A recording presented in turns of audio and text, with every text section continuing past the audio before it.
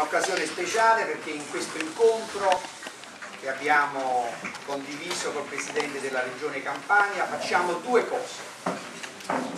La prima cosa che facciamo è una verifica di un solenne impegno istituzionale, politico e amministrativo che abbiamo condiviso col Presidente il 6 novembre scorso sulla questione delle comunità terapeutiche della Regione Campania. Circa 40 giorni fa facemmo una grande assemblea a Napoli sulle comunità terapeutiche della regione Campania, sul sistema di accreditamento e sul ritardo di 22 anni di quel sistema di accreditamento e di quell'adeguamento delle tariffe. In quell'occasione, grazie a una collaborazione istituzionale straordinaria del Consiglio regionale con la consigliera Ciaramelli, la presenza di Don Tonino Palmese che è un rappresentante dei diritti sociali a tutto tondo in Regione Campania e in Italia. E soprattutto la volontà politica del Presidente, noi in 22 giorni abbiamo avuto un decreto 76 che aggiorna il sistema di accreditamento e le tariffe e mette in condizioni oggi le mamme, i giovani, le famiglie dei ragazzi tossicodipendenti di poter fruire di servizi di qualità in regione senza andare fuori e anche i lavoratori di avere più certezza, più sicurezza e più dignità per il loro lavoro. Questa è una cosa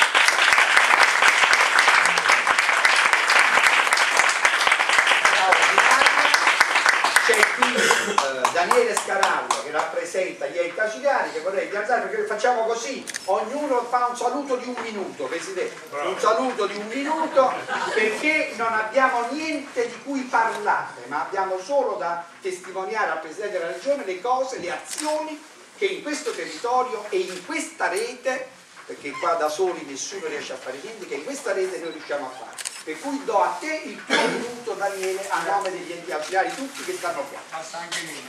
Buongiorno Presidente, buongiorno a tutti. Noi ci siamo incontrati, come diceva Salvatore, a novembre e tutti possiamo affermare che è stata un'occasione speciale quella, ma non solo perché ci siamo incontrati, perché ciò che è stato detto è stato fatto, ma come abbiamo ribadito più volte abbiamo riaperto un percorso, che è un percorso che è cominciato con questo decreto e noi siamo certi continuerà di confronto e di possibilità con le istituzioni di continuare a lavorare.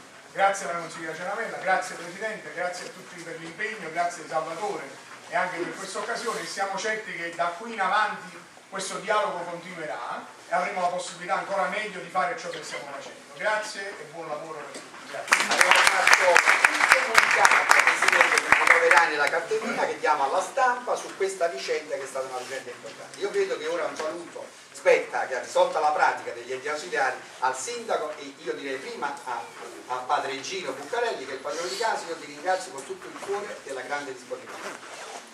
Buongiorno a tutti, buongiorno Presidente, siamo veramente onorati della sua presenza qui è una conferma di una, di un, non solo di un lavoro ma di un modo di lavorare perché penso che la cosa più importante non è soltanto fare le cose ma è come farle.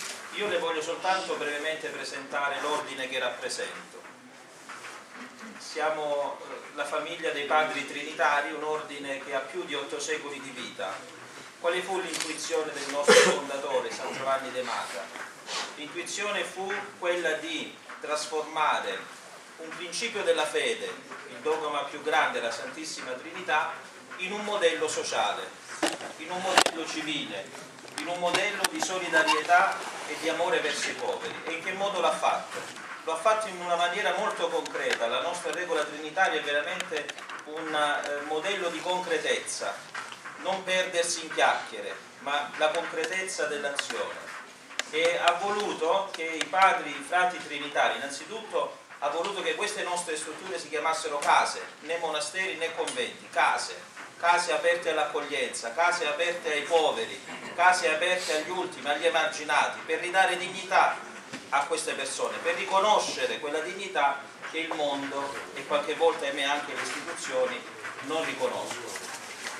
E ha voluto che tutte le offerte, tutte le donazioni che i padri ricevevano fossero divise in tre parti La prima parte, solo una terza parte serviva per il sostentamento dei frati, la seconda parte per l'accoglienza dei poveri, la terza parte per i cristiani perseguitati che all'epoca venivano addirittura schiavizzati e venduti al mercato come schiavi. Dico all'epoca ma sappiamo bene che sono fenomeni che oggi più che mai purtroppo sono attualissimi e proprio alcuni mesi fa la stampa internazionale ha documentato in Libia la vendita di esseri umani come schiavi proprio a motivo della loro differenza religiosa e culturale. Oggi eh, noi qui inauguriamo una, un nuovo modo di operare per noi padri trinitari, quello della condivisione.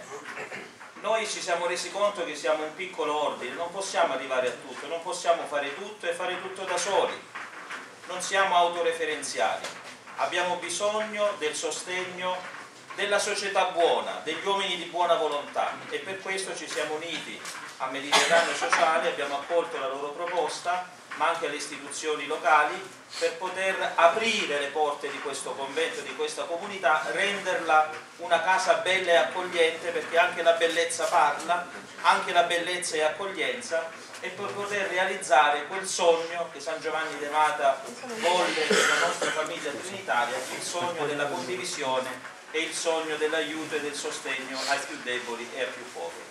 Spero che questo sia solo l'inizio di un percorso che certamente va eh, sostenuto, va eh, approfondito e aperto a tutte le realtà del luogo, del territorio. Questa è un'altra sfida che insieme dobbiamo vincere. Mi fa piacere la presenza del sindaco perché lo voglio ribadire anche in questa sede. Questa casa, questa comunità, questa opera non può essere un'opera che non dialoga con il territorio e non aiuta il territorio ad aprire la mente, il cuore, i propri orizzonti per costruire una società più giusta, più equa, più solidale. Grazie e buon lavoro a tutti. Grazie. Io volevo dire, prima ringraziare il Presidente De Luca per la sua presenza qui oggi, del consigliere regionale Borrelli, della consigliera Cialambino,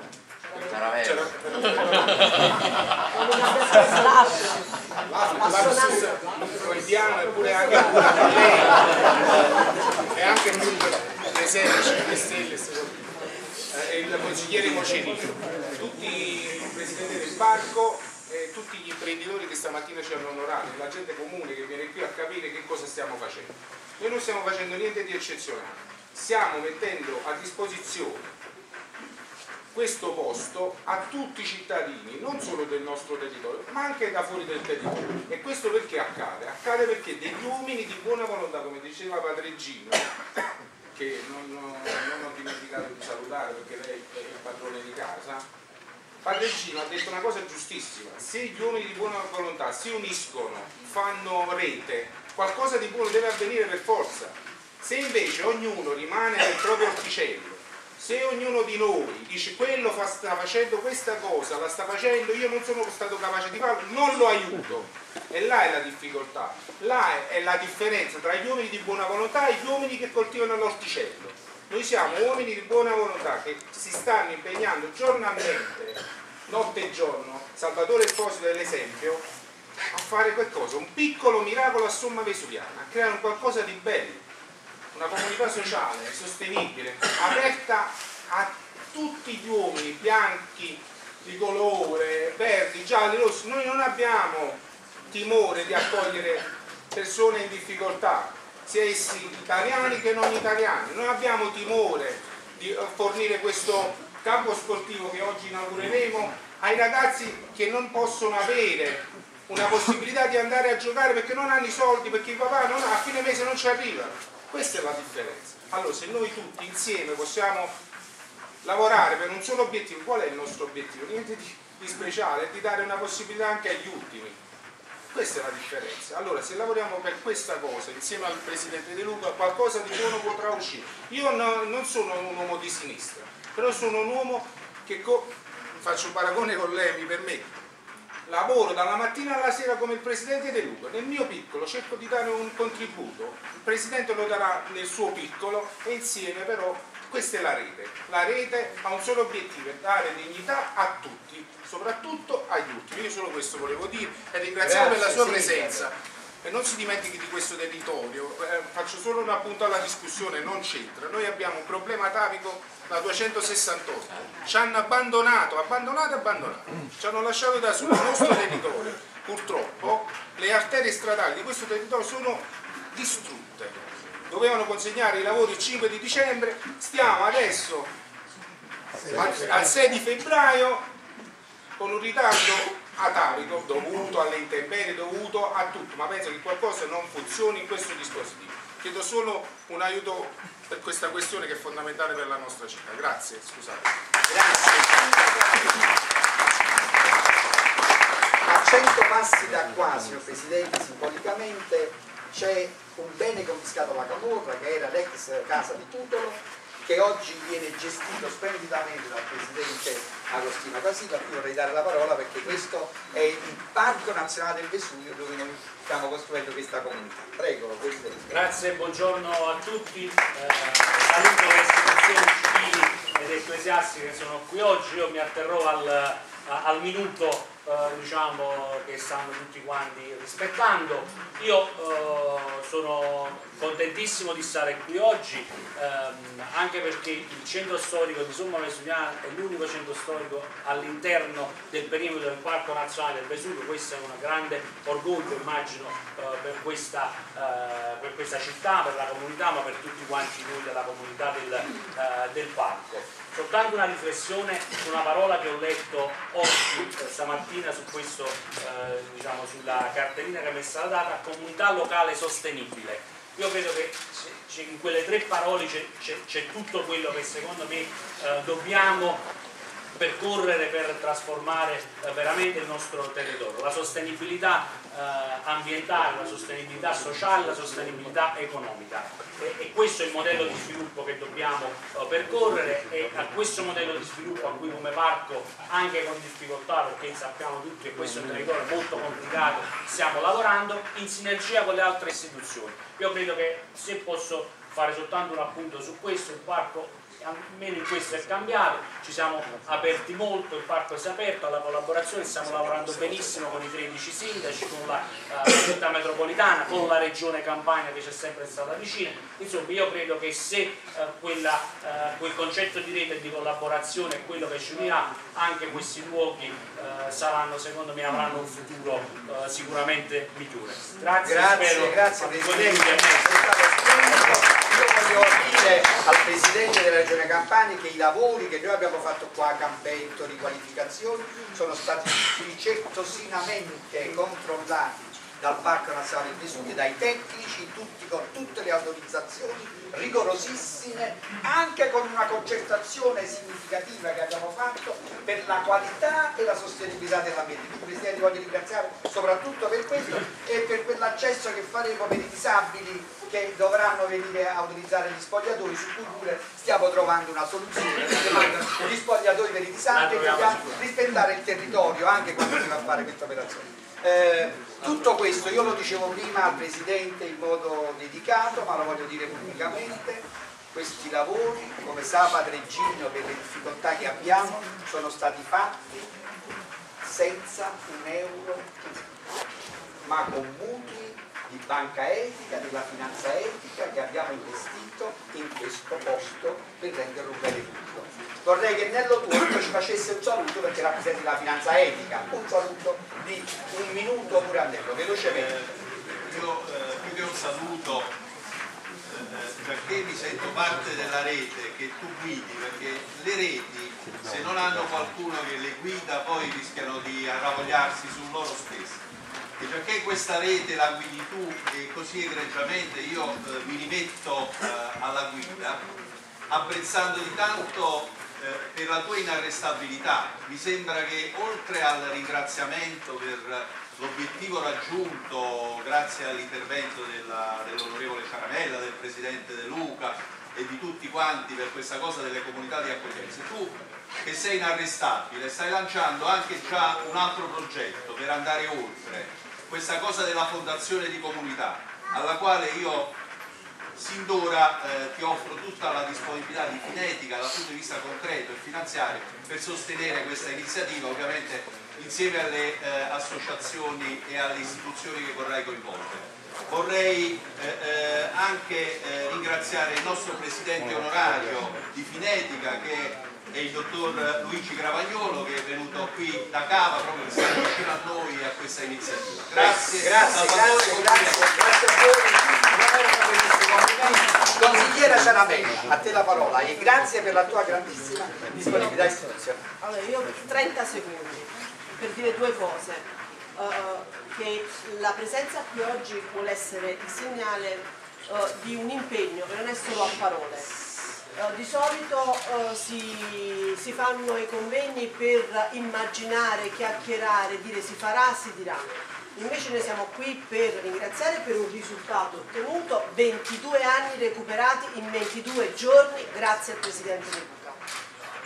E uh, per dire un'altra cosa, quando parliamo di economia civile, quando noi parlavamo di economia civile, tutti ci dicevano beh sarebbe bello, uh, è un bel sogno, è qualcosa che sì, sono parole che sono delle persone di buona volontà.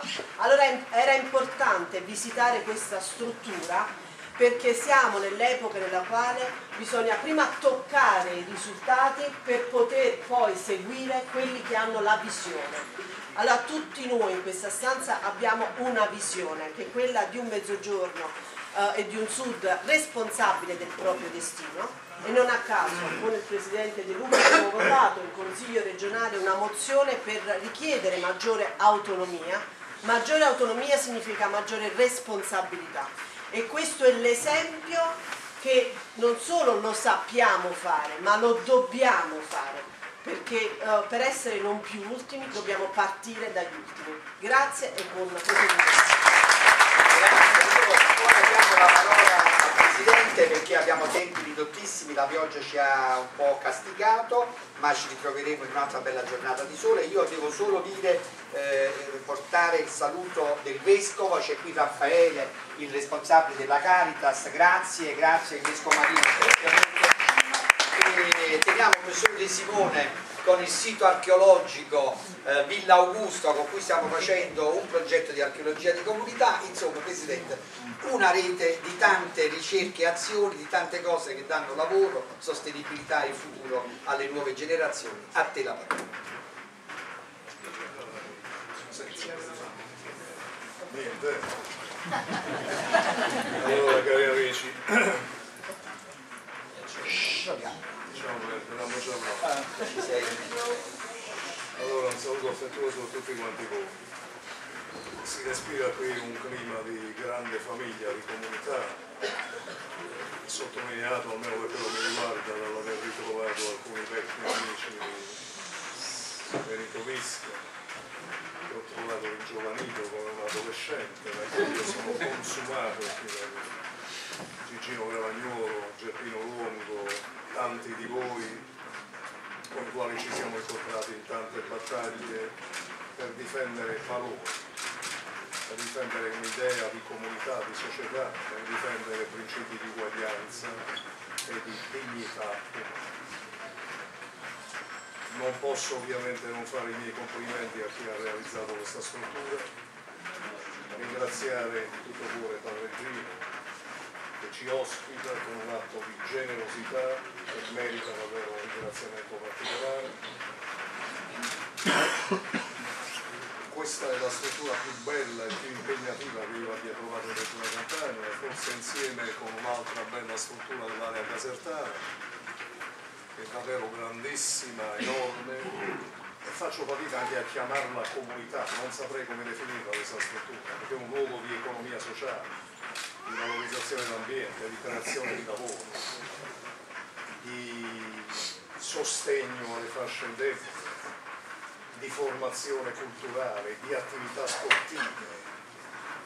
È incredibile, è veramente un piccolo mondo e dunque davvero complimenti. Un saluto al sindaco, anche io non sono appassionato delle bandiere di partito come tu sai. Io sono un militante del Partito Democratico, ma se devo scegliere fra la verità e la bandiera di partito, io scelgo la verità, senza nessun dubbio, senza proprio pensarci.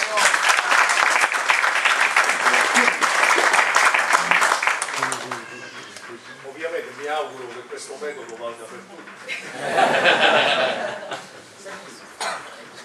Perché mi è capitato, ho qualche decennio di esperienza di vita amministrativa, di fare un lavoro per anni e anni, senza domandare a nessuno l'orientamento politico e senza avere la rubrica dei clienti, per poi ritrovarmi di fronte gente che invece alla fine la lista dei clienti ce l'aveva. Allora un conto è avere spirito di libertà e di verità, un altro conto è essere presi in giro, perché allora mi arrabbio. Quindi o i criteri valgono per tutti, si rispetta il lavoro, la concretezza, la dedizione e l'impegno e allora andiamo d'accordo.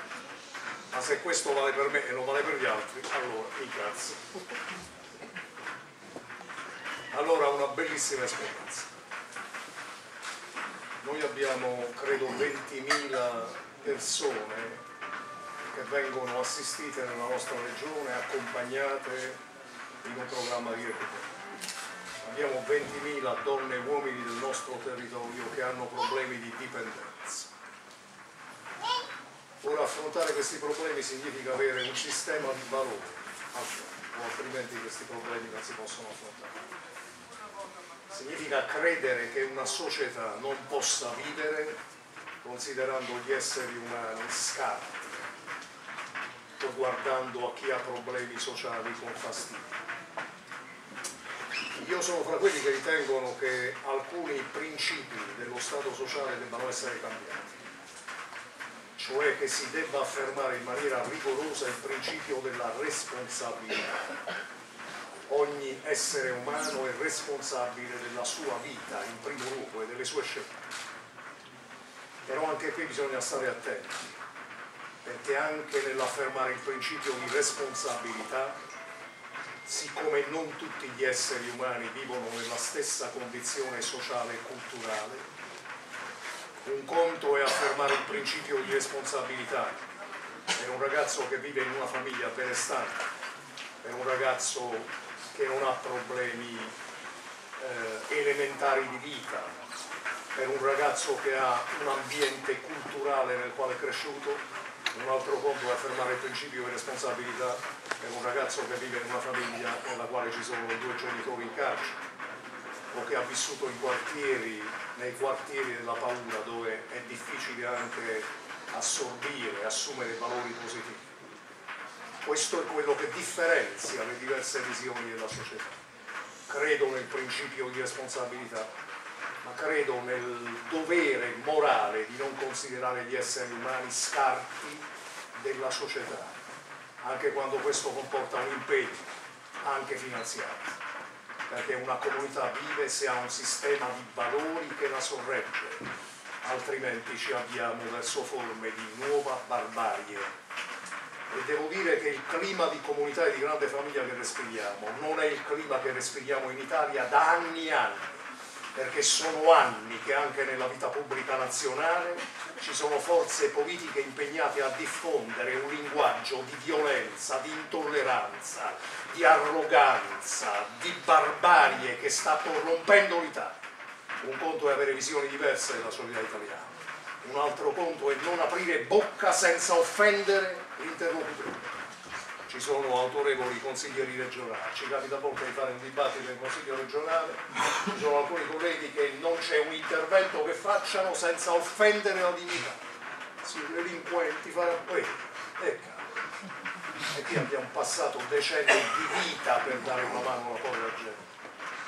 Anche in questo dobbiamo fare una battaglia di crescita civile, difendere la civiltà dei rapporti, il rispetto reciproco si può essere perfino avversari, ma rispettandosi, rispettandosi, sapendo che ogni essere umano è portatore di un nucleo di verità, grande o piccolo che sia, ma ognuno ha un nucleo di verità da esprimere, perché ognuno è portatore di un'esperienza di vita su cui bisogna riflettere. su cui si può imparare. Allora 20.000 persone fra quelle conosciute, ma poi sono tante altre, le persone che hanno problemi di dipendenza, che, che hanno bisogno di una mano, di un aiuto.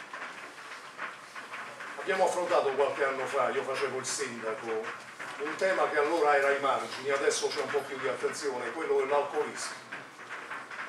Ho incontrato quasi 20 anni fa, c'era un'associazione Logos che curava in solitudine persone che avevano problemi di alcolismo. Mentre per le tossicodipendenze c'è più attenzione sociale, vi sono alcune dipendenze che sono completamente dimenticate, ma sono tragedie per le famiglie e a volte tragedie doppie perché quelle dipendenze si accompagnano con un sentimento di vergogna dei figli, delle madri, dei padri. Quando c'è un padre alcolista c'è una vergogna in più per un ragazzo a, a far sapere che c'è quel problema. Allora la prima cosa che dobbiamo affermare è questa, nessuna vergogna. La vita di ogni essere umano non è un'autostrada a tre corsie la vita è un sentiero tortuoso, a volte fa fatica anche a trovare la traccia. La vita non è già scritta, la vita è fatta davvero di tante pene, di tanti sacrifici. L'importante è non perdere l'orientamento di fondo. L'orientamento di fondo è la dignità di ogni essere umano, la dignità di ogni essere umano. Dunque la prima battaglia è questa, per, prima ancora che per i soggetti che hanno dipendenza e per i familiari. Vivete questi problemi senza senso di vergogna senza sentirvi ai margini della società. Sentitevi come tutti quanti gli altri, come persone che hanno diritto ad avere una mano, ad avere un aiuto perché questo è doveroso in una comunità civile. Ragioniamo su alcune evoluzioni che hanno alcune patologie. Parlando sempre dell'alcolismo, noi siamo arrivati al punto che abbiamo problemi con ragazzi di 14 anni, 13 anni, fenomeno della movida della vita notturna ormai sta devastando un'intera generazione per alcuni modelli culturali deteriori, per il farabuttismo di qualche commerciante che pur di vendere un po' di porcherie, di superalcolici, rovina la vita di tanti ragazzi. Abbiamo a volte nei pronto soccorsi a Napoli, a Salerno, a Caserta, arrivano in coma etilico ragazzi di 13 anni, di 12 anni, è una tragedia e qui dobbiamo fare una battaglia nelle famiglie, nelle comunità, negli oratori, abbiamo fatto una legge per rialimentare, ridare vita e sostegno agli oratori. Poi abbiamo ovviamente alcune dipendenze che sembrano più leggere, marijuana, abbiamo il fenomeno delle pluridipendenze, delle pluriassunzioni, c'è chi assume contemporaneamente eroina, cocaina, che fuma allora diciamo con grande chiarezza ai ragazzi che non è una cosa da niente, fumiamo, non perché fumiamo. Questi elementi di superficialità, di banalizzazione dei problemi, cerchiamo di esercitare un ruolo di educazione, di educatori, non rinunciamo alla funzione di essere educatori, cioè al dovere di dire dei sì e dei no, dei sì ma anche dei no abbiamo nuove forme di dipendenza, autopatia, abbiamo pensionati che si rovinano la vita per andare a giocare in questi centri di, di, di malavita che, che, che, veramente sfruttano, abbiamo a volte a fine mese pensionati che prendono la pensione e se la fumano in due giorni. E così via, potremmo elencare un po' i problemi che stanno attraversando la società contemporanea e le famiglie. Allora è decisivo avere queste strutture lo Stato da solo non ce la farà mai. Ed è decisivo avere forme di volontariato vero, perché un altro dei fenomeni cresciuti negli anni 90 in particolare è quello che ha visto formarsi associazioni di finto volontariato che erano luoghi di clientela politica e di dipendenza dai padroni di tutti. Erano più associazioni di commercianti che di volontariato.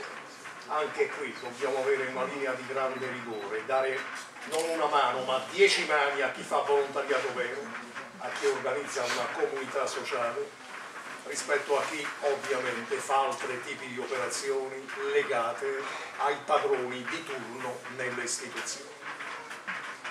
Allora noi dobbiamo essere parte di questo grande sforzo di civiltà, di solidarietà, di umanizzazione delle nostre comunità, con grande spirito di libertà e con grande autonomia dal potere e dalla politica, quali che siano i segni. I diritti civili valgono a prescindere. Io non vi ho fatto un piacere un regalo, ho fatto il mio dovere di uomo che è al servizio della sua comunità. Punto. Non mi dovete.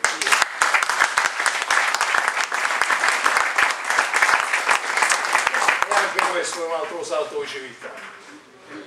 Non lasciarsi alle spalle maggiordomi, clienti o servi, ma lasciarsi alle spalle donne e uomini liberi che se decidono di aiutarti e di sostenerti lo fanno per convinzione, non per un rapporto di vassallaggio, di servitù che io rifiuto e non accetto. Cosa, noi abbiamo avuto un incontro al centro di azionale a Napoli due mesi fa, mi era stato segnalato un problema che mi era sfuggito, avevamo una condizione da vent'anni di, di, grande sofferenza delle associazioni perché non avevamo codificato l'accreditabilità delle strutture, i criteri per l'accreditabilità e avevamo una tariffa che rendeva impossibile alcune attività. Gli è stato segnalato il problema, gli ho dato la mia parola d'onore che avremmo risolto entro l'anno 28 dicembre del 2017, entro l'anno ho firmato il decreto per adeguare le tariffe. Questa cosa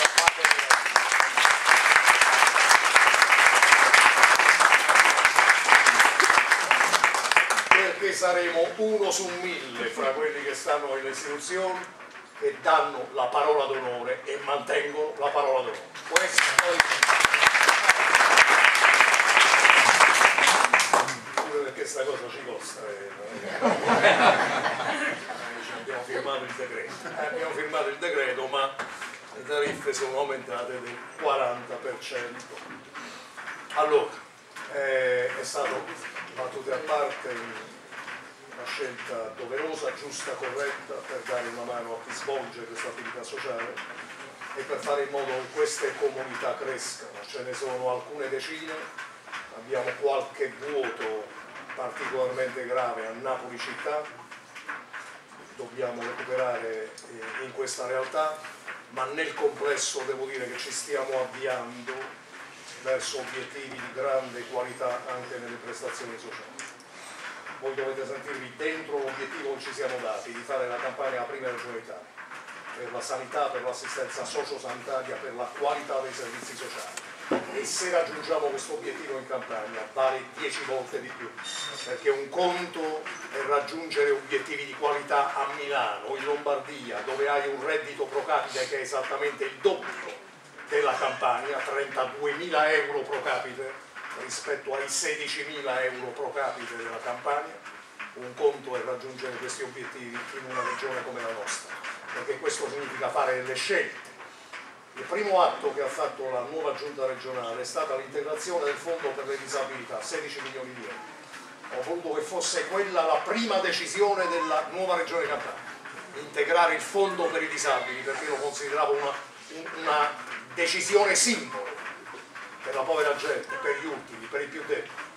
Poi come sapete io ho le mie opinioni sulla sicurezza, nel senso che noi dobbiamo avere sempre un doppio atteggiamento che non si può separare braccia aperte, accoglienza, aiuto a tutti, per ragioni di umanità, di spirito cristiano, di valori civili, ma anche estremo rigore nei confronti di chi viola le leggi, quale che sia il colore della pelle. Perché se qualcuno viene in Italia per sfruttare la prostituzione, spacciare droga e dare fastidio, io penso che non possiamo essere caritatevoli. Una volta, due, tre, poi basta. Questo se vogliamo essere persone serie e non perdere il contatto con gli esseri umani normali, che sono disponibili all'aiuto e alla solidarietà, ma hanno anche il diritto di vivere in pace e di non avere la paura se esce una ragazza di notte che non torni a casa. Questo no, io almeno la penso così a proposito di. Allora, bellissima mattinata, ho scoperto una realtà che non conoscevo. Al sindaco dico che abbiamo stanziato mi pare 20 milioni di euro per la 268, quindi completeremo questa benedetta strada che è maledettamente pericolosa. Era un impegno e lo manterremo, vediamo un po' per la consegna dei lavori se si decidono a muoversi. Apriremo credo un'altra bella struttura eh, a Marigliano, se ricordo bene ho trovato un'altra bella realtà, non grande come questa, c'è una chiesa gestita dai francescani che fa un'accoglienza per ragazzi soli, per anziani abbandonati, una mensa sociale, faremo lì a spese della regione anche un parco della pace, perché sono andato una mattina, ho visto che dietro la chiesa c'è un parco abbandonato che può diventare davvero un parco bellissimo per accogliere bambini, anziani e per essere aperto, offerto anche ai cittadini, quindi faremo un bellissimo intervento. Allora come vedete ci teniamo per mano per le cose che fate voi, per quelle che possiamo fare noi perché le nostre comunità davvero siano comunità civili. Grazie a tutti quanti, fate un buon lavoro, auguri a voi e alle vostre famiglie. Presidente, 30 secondi, io non sono abituato a chiosare Tieni conto che devo andare 30 a lavorare. secondi perché abbiamo fatto la messa di Natale con Don Tonino nella nostra comunità qui a 3 km, le ragazze sono dipendenti e ci siamo presi un impegno per quest'anno su una parola che era l'umiltà. L'umiltà. Io con questa umiltà proprio risposto perché non sto più là, ho il dovere di rappresentare delle cose e quindi 30 secondi lo rappresento. Prima cosa devo rappresentare gli operatori della struttura Out è una struttura diurna, l'unica della ASL Napoli Presur che come i sindaci ti hanno scritto non può chiudere per le cose che tu ci hai detto. La seconda cosa, i ragazzi Nights, dove sta Pasquale Calore? I ragazzi Nights non possono aspettare, mi ricordo queste suore, questi ragazzi, sono gli ultimi tra gli ultimi. Io voglio costruire un'agenda, io sono una persona che quando accoglie non facciamo vertenze, non chiediamo cose, stiamo accogliendo, però voglio costruire questa agenda con la consigliera Ciaramelli. E poi i minori, li chiamano minori, Presidente, ma sono bambini, sono bambini, avevano 5 anni, 6 anni, 4 anni, poco tempo fa. Ecco, noi dobbiamo costruire una grande agenda lavorando con queste cose. Con questo spirito chiedo a Rosa e a eh, Olimpia di farvi vedere i loghi delle comunità locali sostenibili nel mondo, per un attimo li presentiamo e ci liberiamo. Ecco qui, questo è il, è il primo, è il logo della comunità locale sostenibile Parco Mediterraneo, è il logo generale che girerà, speriamo, in tutto il mondo e poi il logo di Parco Mediterraneo, ve lo facciamo vedere perché ci hanno lavorato tanto tempo i nostri ragazzi dell'ufficio comunicazione. Eccolo qui, Parco Mediterraneo. Poi lo facciamo